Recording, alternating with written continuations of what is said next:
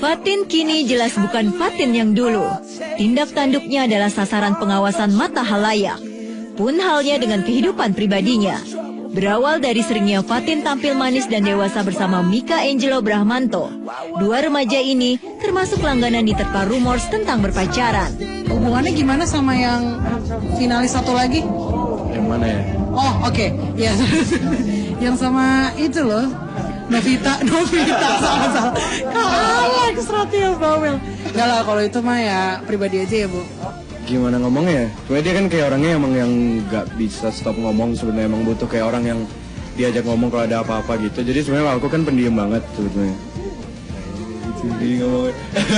Cuma ya jadi gitu sih sebetulnya jadi kayak temenannya juga bukan bukan kayak langsung temenan yang gimana tapi emang kayak ya gitu aja sih emang jadi teman aja karena ya gitu aja gue juga bingung nih ngomongnya apa Publik tampak menduga soal kedekatan Fatin dan Mika. Mereka seakan tak rela Fatin sering bersanding mesra dengan Mika. Tapi pada bersamaan, halayak seakan mulai memposisikan Fatin dan Mika sebagai pasangan remaja ideal masa kini. Sama-sama rupawan, sama-sama berprestasi tahu Fatin meraih ini tuh. Ya jadi uh, apa ya maksudnya ini kan double platinum kan ini albumnya atau sendiri sih? Album kompilasi. Album ya album kompilasi. Gak jadi yang sendiri. Album kompilasi. Ya jadi kalau aku ngelihatnya ya ikut bangga juga sih. Do you hear me?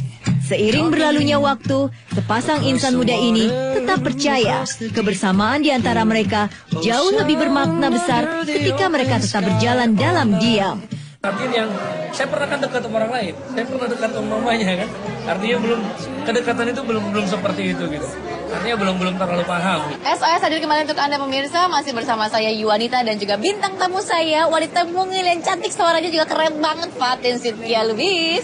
Dan pemirsa jangan lupa untuk mendatangi ini nih ya live.fifa.co.id di sini ada berita seru banget pemirsa mengenai uh, seorang wanita yang mampu berpose ekstrim dan wanita ini adalah wanita yang dikatakan terlentur di dunia. Aduh, ini seru banget ya bisa Anda dapatkan di live.fifa.co.id.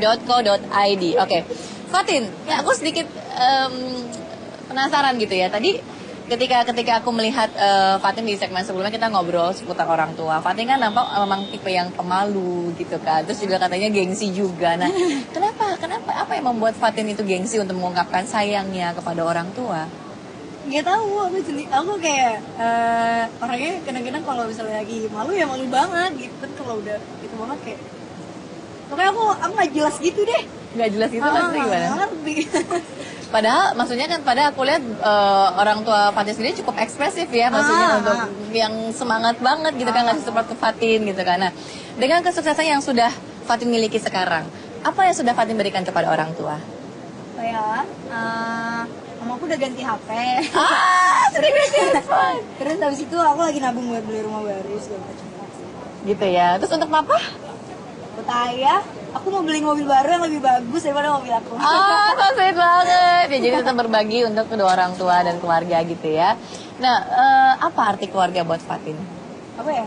Kayak tiap hari ngeliat mereka terus tapi nggak bosan-bosan kayak mamaku tuh kalau aku ngalah sama mamaku tuh suka garing-garingan gitu tapi mamaku tetap ketawa jadi menurut aku orang yang paling kocak itu ya di rumah tuh keluarga aku. Keluargamu ya. Sedekat apa kak? Fatin ini tiga bersaudara ya? Iya. Fatin anak ke? Pertama. Anak pertama yang sedekat apa Fatin sama adik-adik Fatin?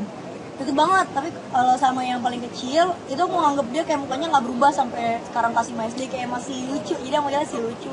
Tapi kalau sama Fadil aku berantem mulu. Kenapa? Hmm. Nggak tahu mungkin karena beda 2 tahun jadinya kayak uh, suka nggak Terus mereka mereka suka sedih nggak sih kan Fatin kan secara kesibukannya padat banget, sering ada jatuh affair-affair juga keluar kota gitu kan. Nah, kalau lagi kalau mereka kangen sama Fatin terus gimana? Telepon-teleponan atau gimana? Nggak paling BBM. Terus BBM kalau Fadil kak, terus aku kayak apaan sih? Juga BBM doang. Gitu. Oh, mereka kangen. Iya kayak gitu-gitu. Tapi Fatin sering kangen nggak kalau lagi di luar kota gitu lagi acara terus sama adik-adik suka kangen nggak? Kangen sih, cuma nggak bilang-bilang tapi sekarang gitu. Ya, tapi ternyata kangen ya. Dan tapi ternyata pemirsa biarpun badannya mungil begini, ternyata Fatin itu jago banget karate. Lagi lagi belajar ya, lagi kursus apa gimana sih? Udah belajar, cuma sekarang kayak vakum gitu. kayak vakum gitu gitu kan tapi banyak yang banyak yang minta pengen ngelihat kasih dong sedikit gerakannya gerakan dasar aja gitu kan mungkin orang banyak berpikir kalau Fatin ini cewek yang feminin kayaknya lemah banget hits jangan salah kalau anda berani macam-macam sikat Fatin ya kasih kasih sedikit aja gerakan gitu kan biar Fatin di sini semua terpukau sama kamu ayo coba ban hitam lagi pala katanya Iya. udah ban hitam kan tuh Iya, udah lama. ayo coba coba coba coba coba awas jangan ngelakuin gerakan yang ekstrim ya Iya. ayo Jadi kami namanya Genji. Aku udah lama banget sih. Jadi biasanya di kiri dulu. Terus ini tuh ulu hati. pelan-pelan ngomongnya Fatin Iya oke oke oke kak oke. Ini ke ulu hati. Terus harus kalau eh, kalau slow gitu jadi kayak gini. Pokoknya tuh intinya harus ulu hati. Kalau cepet jadi kayak gini. Kalau makin cepetnya tuh pakai pinggang jadi kayak langsung slep gitu. apa langsung Udah aku malu. langsung zoom apa langsung zoom Sampai kalau aku salah sama si oh segitu doang Nggak mau aku malu soalnya aku sama kita yang tidak baik. berapa kamu berapa lama sih latihan ini Su- sudah berapa nyampe berapa tahun Aku dari kelas 5 SD. dari kelas 5 SD terus kepake buat alasan kamu pertama kali belajar karate ini untuk apa? Karena adik aku si Fadil kalau habis main tuh selalu nangis. Terus kalau di- abis main selalu nangis? Iya kalau Nah. habis main pulang-pulang kayak "Eh," terus pada kan aku yang paling sebenarnya tomboy itu kayak aku jiwanya tertukar sama Fadil pada sering nangis aku kayak apaan sih? Saudara yang tertukar gitu ya. Nah, terus? Terus kalau Fadil pulang nangis akhirnya aku disuruh temenin dia karate aku oh jadi gara awalnya itu gara-gara karena adikmu sering nangis makanya kamu jadi mau belajar iya nggak pengen juga sih ikut-ikutan aja terus udah kepake belum kamu belajar ilmu bela diri ini udah Lumayan. kepake belum untuk untuk untuk apa namanya untuk melindungi diri sudah sempat kepake belum mungkin ada yang gangguin kamu terus kamu oh, sempat Iya, ceritanya jadi gimana Aku habis eh, lagi pengen pergi sekolah. Terus jalanannya gede cuma sepi kan. Terus di belakang, di belakang aku kayak orangnya jalannya makin cepet kayak kedengeran gitu dia lantainya. Terus dia nyariin gol gitu. Jadi aku tuh SMP ada name tag kayak gitu. Mm-mm. Gol. Vira ya. Jadi kayak sosok kayak kenal aku terus aku ancang-ancang gitu, Nah, kuda-kuda. terus? Padahal aku bingung juga mau ngapain. Terus dia kabur gitu.